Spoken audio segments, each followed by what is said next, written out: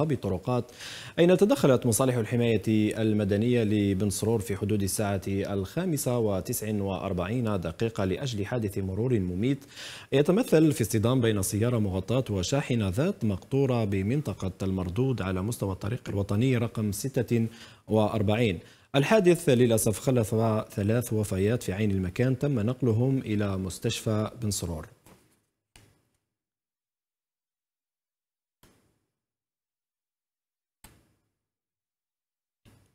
ومن جهة أخرى تدخلت مصالح الحماية المدنية في حدود الساعة الثانية ونصف لأجل حادث مرور متمثل في انقلاب حافلة لنقل المسافرين تشغل خط الجلفة بشار على مستوى الطريق الوطني رقم واحد ببلدية الدويس دائرة الإدريسية بولاية الجلفة. الحادث للأسف خلف إصابة 19 شخصا تم نقلهم للمستشفى. لتفاصيل أكثر حول الموضوع حول هذه الحوادث نربط الاتصال بالرائد سمير بوشحيط المكلف بالإعلام والاتصال بمديرية التنسيق نعم بمركز التنسيق المروري للدرك الوطني. مرحبا بك سمير. آه، مرحبا صباح الخير لكم ولكل مشاهدي قناة النهار.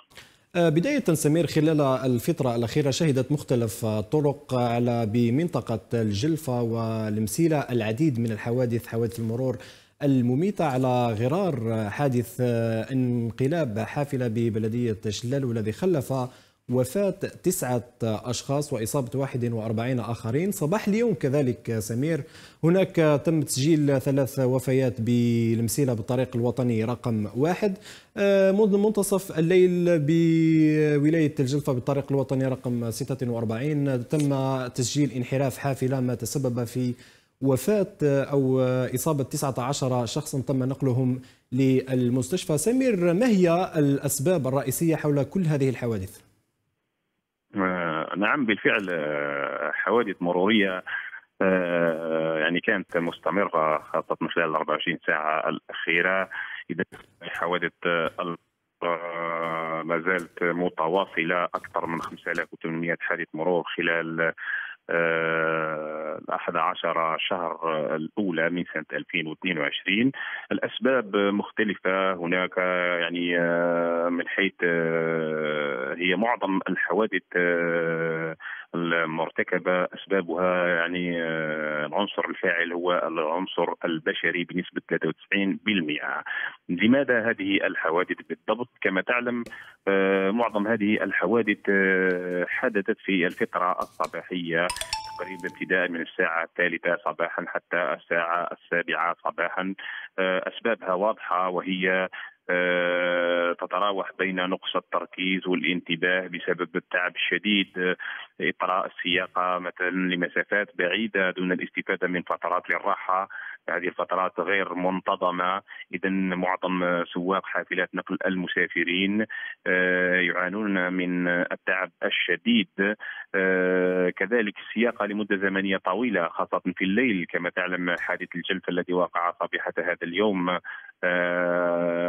على ما أظن كان لحافلة نقل المسافرين التي تشغل خط بشار سوق هراس تخيل معي السياقة أو يعني على كم الساعة انطلق هذا السائق من ولاية بشار.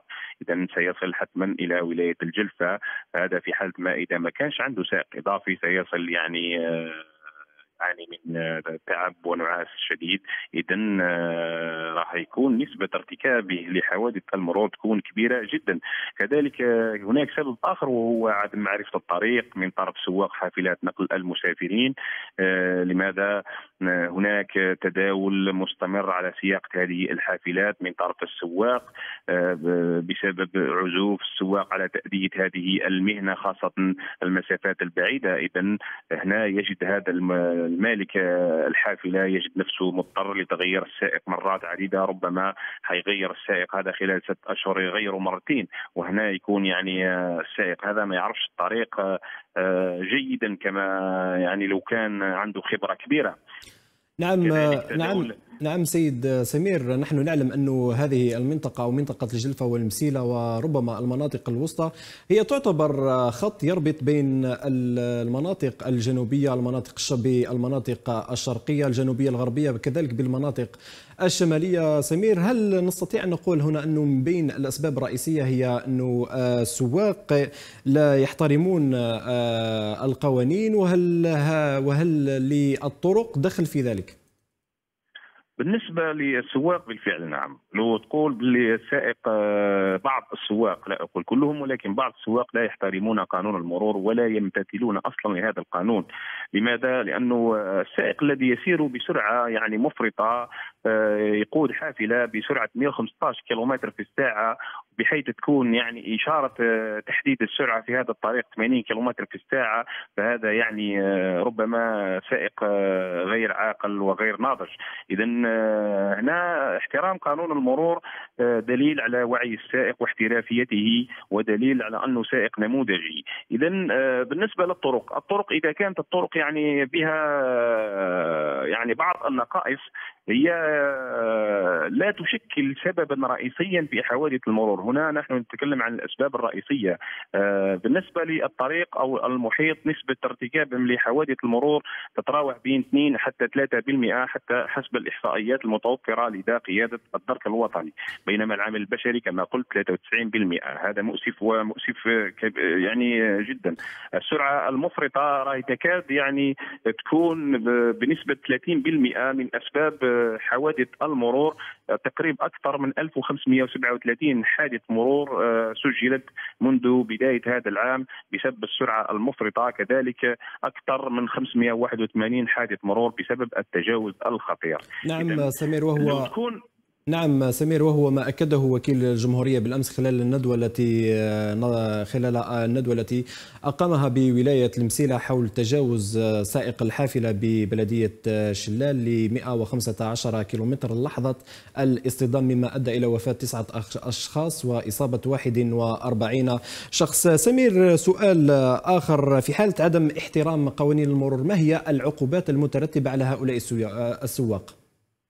بالنسبة في بالنسبة يعني في حالة عدم احترام قانون المرور العقوبات المترتبة لحد الساعة على هؤلاء السواق هي عقوبات آه، ناصة أو نص عليها القانون 1401 المعدل والمتمم آه، وكذلك آه، المراسيم التنفيذية المعدلة والمتممة على غرار المرسوم التنفيذي 381 04 وكذلك هناك يعني هذه في حال ما إذا ارتكب هذا السائق مخالفات بسيطة يعني أما المخالفات الخطيرة فربما تضع صاحبها أو مرتكبها أمام المتابعة الجنائية والمساءلة القانونية وربما سيقبع خلف القضبان. مثلا كما رأينا آه، العقوبات المترتبة أو كما نعلم العقوبات المترتبة عن القتل الخطأ مثلا في حالة ما إذا كان السائق في حالة سكر أو تناول مواد مخدرة فهي جنحة معاقب عليها بنص القانون وتبقى السلطات القضائية لها السلطة التقديرية.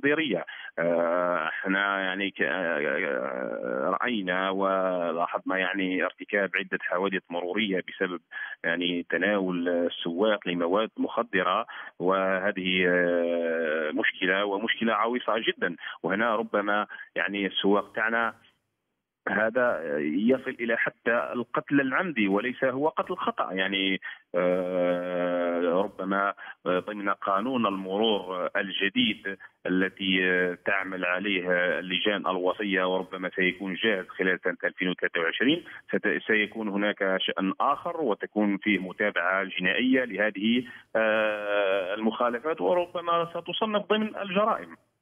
نعم سمير بالعودة إلى حادث المسيلة في قبل يومين مصالح الدرك الوطني وقفت على أسباب الأسباب الرئيسية التي تسببت في هذا الحادث سمير ما هي هذه الأسباب؟ بالنسبة للسبب حادث المسيلة آه، للأسبوع الماضي والذي راح ضحيته تسع أشخاص وإصابة 41 شخص بجروح متفاوتة الخطورة السبب آه، يعني آه، حسب التحقيقات التي خرجت بها الضبطية القضائية كان هو التجاوز الخطير دون اتخاذ الإجراءات اللازمة من طرف سائق الحافلة حيث تجاوز مركبه كانت تسير أمامه وكذلك نظرا للسرعة المفرطة التي كان يسير بها. السرعة التي كان يسير بها تم تحديدها من طرف خبراء علم حوادث المرور كانت بسرعة 115 كم في الساعة بينما الاشاره المحددة للسرعة في هذا الطريق آه، تشير إلى 80 كم في الساعة. تخيل معي جيدا يعني مركبة يكون طولها 16 متر تسير بسرعة 115 كم ويقوم صاحبها بعملية التجاوز. إذا ماذا يحدث؟ ومن هنا أقول بأن نقص التكوين التخصصي لسواق الوزن الثقيل أو النقل المشترك آه، يعني يبدو جليا هنا. إذا على هذا السبب آه، طيب سمير فقط في عجالة. سمير بالنسبة للنقاط السوداء هل تم عدها على في هذه المنطقة وكذلك على المستوى الوطني إذا كانت هناك إمكانية. بالنسبة لولاية المسيلة أو بهذه المنطقة لولاية المسيلة أو الجلفة هناك عدة نقاط ومقاطع سوداء بولاية الجلفة. تقريبا تكون المقاطع ثلاث مقاطع سوداء بكل من الطريق الوطني رقم واحد وكذلك الطريق الوطني رقم 40 كذلك الطريق الولائي رقم 189 على مستوى بلدية الجبارة آه، بولاية المسيلة كذلك آه، هناك عدة مقاطع منتشرة آه، على مستوى شبكة طرقاتها نذكر الطريق الوطني رقم 8 ببلدية سيدي عيسى، الطريق الوطني رقم 40 بعدة مقاطع سوداء بلدية مطارفه مثلا، بلدية أولاد عدي وكذلك ببلدية دوار أولاد الربيع. بالطريق الوطني رقم 45 كذلك بعدة مقاطع سوداء على مستوى بلدية المعاريف على مستوى بلدية المسيلة وكذلك آه، دون أن ننسى الطريق الوطني رقم 46 التي به الذي به نقطة سوداء ل على مستوى منطقة الخنق بلدية سليم كذلك. اذا هذه هذه آه، الولايات الداخلية نظرا لعدم ازدواجية شبكة طرقاتها بها عدة نقاط ومقاطع سوداء. اذا هنا ننصح السواق ونقول لهم الحذر ثم الحذر أثناء السياقه بهذه المناطق آه، خاصة في فصل الشتاء تكثر بها الجليد وبها يعني آه، عدة منعرجات خطيرة وخطيرة جدا. إذا ضرورة اتخاذ الإجراءات اللازمة قبل القيام بأي يعني بأي عملية. نعم الرائد سمير بشحيت المكلف بالاتصال بمركز الإعلام والتنسيق المروري بقيادة الدرك الوطني. شكرا لك على كل المعلومات القيمة التي قدمتها. بهذا